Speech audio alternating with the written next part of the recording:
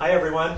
Today our project is to install a ceiling fan and a switch for ceiling fan.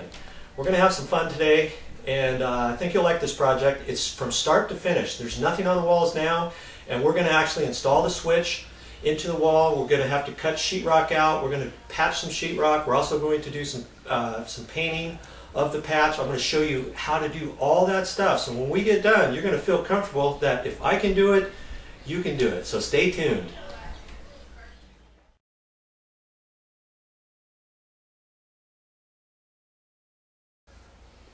Okay, this is where the existing light switches are. What we're going to be doing is installing a fan switch next to one of these switches. So we're going to have three switches in a row. We're going to end up taking this out of the wall. So I just wanted to show you, we've got two switches here now. We're going to add a third one. And you'll see how I do that right now. Okay, here was the black wire to the left switch.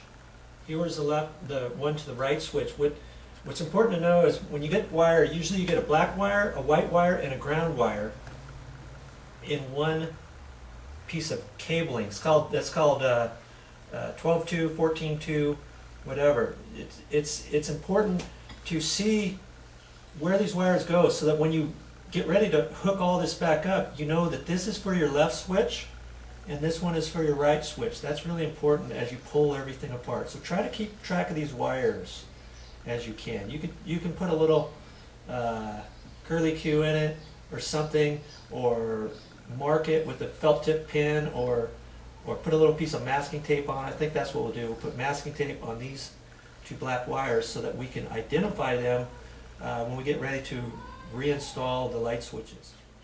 Okay, this box is mounted to the stud here. And I wanted to show you, this is just a single gang box. Looks just like this, except this is a double gang box.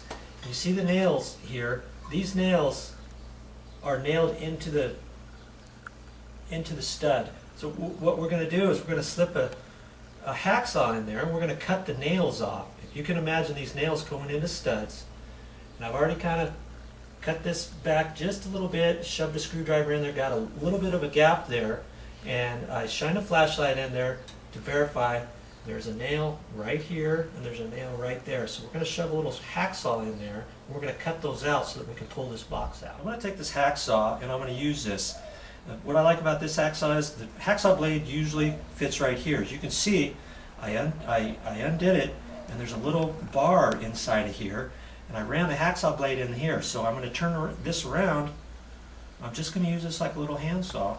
I'm to go in there and cut those screws, those nails out. I'm to just take this in there. Feel the nail. I'm just going to start sawing it. Just nice and slow, just back and forth. Make sure you got the hacksaw blades facing the right direction when you put it in though I'm just going to cut those nails off now. Okay, now I'm to look at this, make sure, see, it's all loose now. It's all loose, ready to take out. Now I have to fish the box out and push the wires back up in there very gently so I don't mess up the wall. So this is kind of time, tedious and time consuming, but just do a little bit at a time and you'll be able to get it. Okay, what we're going to do is we're going to put this three gang switch in this location. So what I'm going to do is I'm going to measure for this box I'm going to mark the wall out here. I guess I'm going to cut that out now. That will make it easier to get this plastic box out of here. So make sure you measure nice and careful on here utilizing the little flaps. This is called a cut-in box. We're going to shove that in there. And uh, I'll show you how to do that in a minute, but uh, just wanted to let you know. Measure it, cut the sheetrock out first, and then we'll be able to pull this box out. I tried to get the box out, but it's not coming out. It'll give me a little bit more slop and easier if I cut this out first. As you can see, I've marked this out.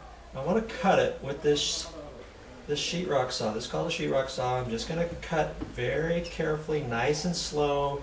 I already kind of checked that there's nothing in the way, but I'm still going to go slow because I don't know what I don't know if there's something way back in there. I just it's always better to be safe than sorry. So just nice and slow. Now I got this cut. I'll pull that out. You can see how much more extra room I have now. Now I can slide this box around. I got plenty of room to work. You still, this might have some flanges on the back for the nail uh, holders. So you may still have to get in there with some with some cutters and cut the plastic box, but at least now you can see where all the wires are. Make sure not to cut any of the wires. And then we're gonna work on this box and cut it and bend it and do some different things to it to get it out of here. We're not gonna use this box anymore, we're gonna throw it away. Okay, another way, this is a stud finder, and another way to find out the stud, if you were wondering why I use the nail method, I mean, the nail method is a good way. You can also get a little stud finder like this that kind of helps you find the, the, uh, the studs inside a wall or the ceiling joists. And what you do is you, is you run it across the wall and lights will come up here. See the red lights? Once it's green, that means that's where the edge of your stud is. From there over this way, if you're sliding it this direction. So the light's green saying it's ready to go. Now it's green. There's the edge of the stud, and the stud is from there over. Measure over three quarters. There's a little notch here. That's three quarters. You put a little pencil hole there, mark, whatever. That that would be the center of a stud. So this is this is kind of a handy thing if you're doing little projects around the house or or handyman type things. It's, nice to get one of these, read the directions, and uh, stud finders are a good thing.